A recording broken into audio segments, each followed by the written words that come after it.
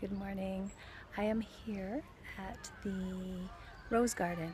It's just below Piazzale Michelangelo where I filmed the last little video.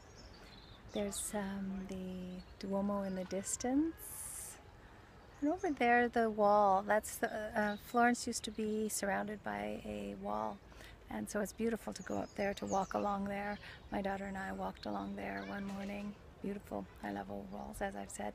So this garden is gorgeous. I've staked out a little spot. I'll show you as I spin around. There's my little spot. I have some grass for my feet so I can feel that I'm in nature and I'm getting some sun.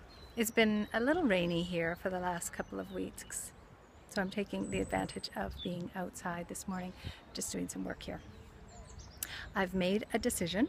I am going to Sicily. I'm going directly to Sicily instead of doing the tour down. The weather isn't as lovely in this fall as it has been in, in Italy. So I will go directly to Sicily. Found a beautiful place to rent on Airbnb. The woman and her husband, who's a scientist, have a society up there and they do work on, or he does work on the Shroud of Turin. I know nothing about it. Apparently, after afterwards, I'll know a little more, which is exciting. She's lovely. I spoke with her on Skype. Interesting, funny. Uh, I'm not sure what age she is. Probably similar to me, maybe younger. I don't want to insult her.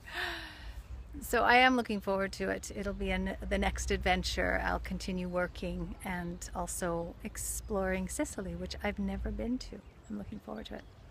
All right, I hope you're doing well and I'll keep you updated. Talk soon. Ciao.